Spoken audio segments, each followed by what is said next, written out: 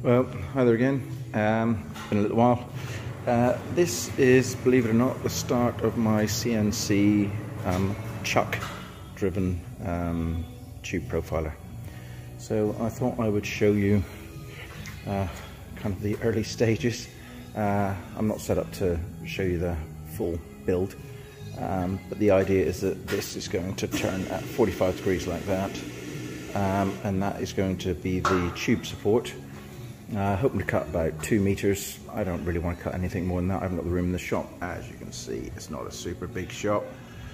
Um, so, yeah, what I'll do is I'll make little snippets of this as we go along. Um, I'm going to put uh, some 8mm plate on one end uh, to flush all this out so that we can get everything where it should be.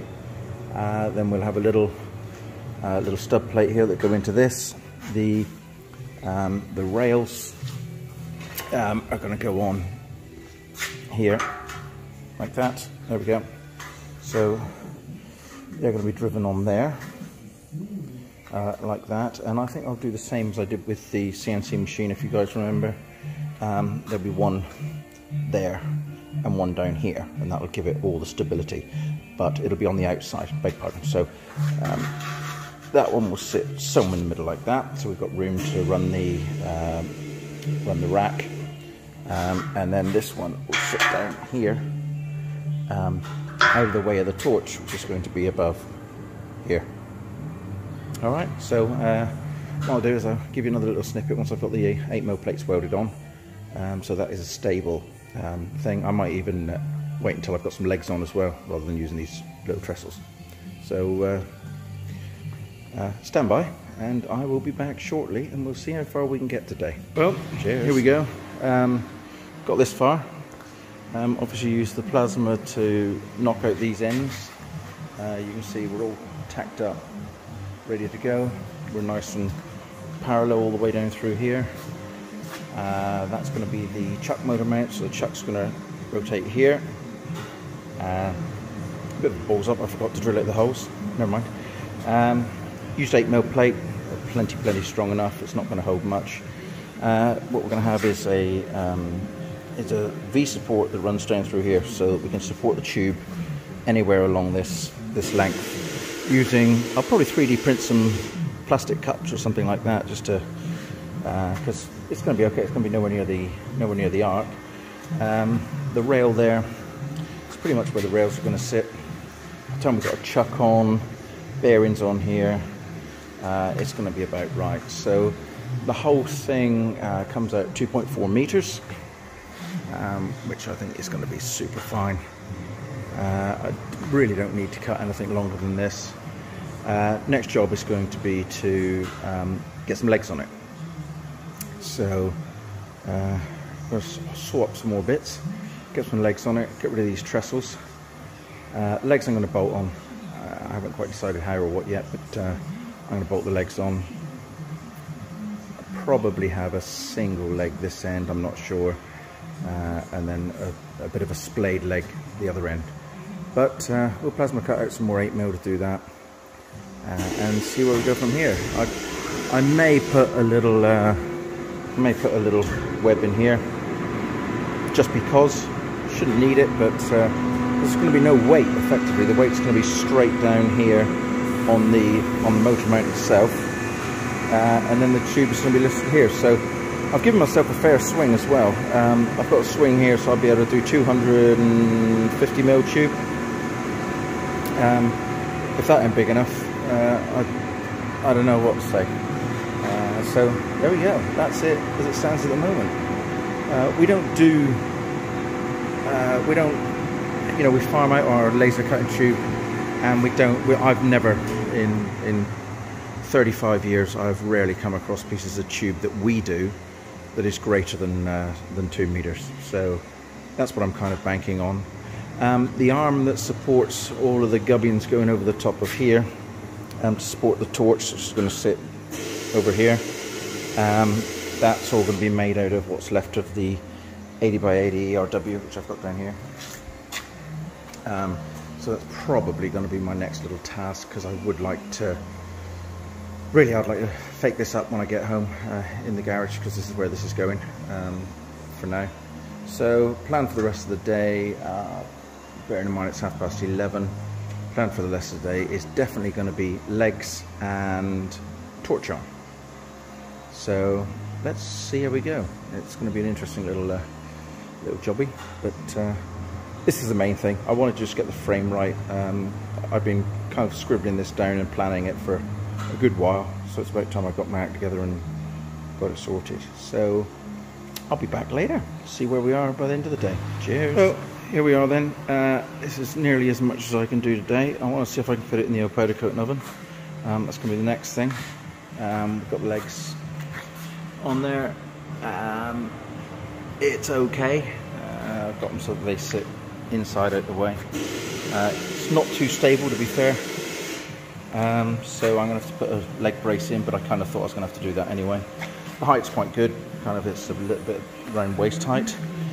Um, I'm going to mount the all the control box and shelf business out here, so everything will be this end, um, and then that will this will be kind of the operating side, if you like. Um, it all looks quite flat, square, and whatever it needs to be.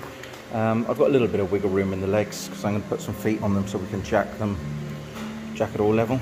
Uh, it's not too bad. It's pretty solid. To be fair, there's a little bit of judder, which of course, if you're going to be racing from one end to the other with the machine, um, you're going to get an awful lot of wobble. So, uh, my next uh, next effort on this is going to be uh, to put a couple of diagonal braces in the legs, probably right to the middle to be fair, to give it some uh, give it some real, you know, make it nice and rigid. You're going to want it rigid because I want this thing to race. I, I, mean, I just want this thing to be just quick. Uh, I mean, it's never going to be as quick as maybe laser or anything like that, but I just want it to be quick. So my next job is to see if um, all of that is going to fit in there. Uh, I have my doubts, but diagonally we might get away with it because uh, what have we got full length here? So here we go. So we've got two 400. Now I know I can definitely get two 300 in the oven, um, but whether I can get two 400 on the uh, on the diagonal is going to be something um, interesting. Anyway, there is not a lot else to weld to, well there's nothing else uh, to weld to this bit.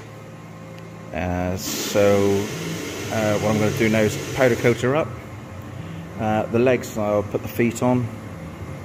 Uh, I would like to put the feet on really with it all mounted on the on the machine itself, but I don't think we're going to get that luxury, not today, because I can't lift all of that up onto the bench. So uh, Anyway, there we go. Let's uh, let's see if I can fit it in the powder coating oven. Well, see in a bit. It's a bit of a surprise. Uh, KTM don't do ro rotary plasma cutters, but if they did, it'd be this. Okay, it's just about to go in the oven, so I'm dying to see, to be honest, what it comes out like. I don't know why I just went orange, just like KTM. There we go. So, uh, Let's bake it. It just fits, which is absolutely great news. Okay, well, um, last instalment of this particular vid, uh, we have got it made and powdered in nice KTM orange. Uh, this is my sort of layout that I'm going to be uh, doing, give or take. Uh, like I said earlier, there'll be another SBR rail down the other side. Um, that's where the motor's going to mount uh, I've got a little chuck for it right there. So we'll get that all that sorted. Um, left a hollow through here uh, for the for any cables and stuff. Uh, definitely going to have to strengthen up the legs a bit. It doesn't move much but it moves a bit. I want it nice and solid. Uh, put the feet on the legs like I said I was going to do uh, and all powdered up. So it's looking like uh, any minute now it's going to start coming together. Uh, I've got the, here's all the circuitry ready to go. Uh, been dicking around with that a little bit. Uh, this is going to be the chuck drive. This will be the Z axis. This will be the X axis. and that one over there will be the y-axis. Um, they're more or less the same motor, but not quite. Um, this one is a little bit more powerful. So there we go. That's the that's the drivers from CNC4you. Uh, power supply. Uh, there's the little Bob bracket board, quite handy. I'm still in two minds whether to uh, go over to uh, the MyPlasm setup. I've got a spare one uh, in my office inside uh, in the house and I just don't know whether it's ready yet. It seems to be very, very beta. Um, but anyway, this is it. This is what I've spent uh, five hours today doing. It's not bad. It kind of decent amount of work, to be fair, uh, in my opinion. So there we go. Um, all the other bits and pieces are here. Um, got the screw. Uh, got the Z-axis bits. Got the x-axis bits. Uh, got a whole bunch of cable and shit. So, no, all good. Can't wait, actually. Looking really forward to it. Uh, but I've got to order the uh, the 16 mil SBR. So 2.4 meters apparently is a bit of an issue with companies not wanting to ship 2.4 meters in the UK at the moment. What is a matter with these outfits? Jesus Christ, it's uh, isn't it what keeps the wheels spinning? But anyway, there we go. Okay, if you like the video, uh, please uh, like and subscribe. Uh, I'm always up for new subscriptions. It just helps me, well, do this stuff. I probably wouldn't have built this machine, to be quite honest, if it hadn't been for, um, you know, the interest that's been shown as far as building CNC machines are concerned. Uh, I'm a very, very busy, busy, busy, busy workshop. We, we, we got so much work on. We're delaying work, putting off work, saying no to work. Um, but I think this is a bit of a priority. Uh, it'll help us we able to do stuff a little bit quicker and, and everything's great. So there we go. So like and subscribe as always, the old dirty bits, and uh, I will keep you informed with the with the next iteration of this bad boy. Uh, I I can't wait. I just need to see it going, but there's so much I need to do. Got to earn some money first to pay for the parts because uh, they ain't cheap. Uh, so there we go. Anyway, take care. Uh, please stay safe because we got this uh, this other variant that seems to be ravaging our country at the moment. So just get vaccinated, stay safe, and take care. See you now. Cheers.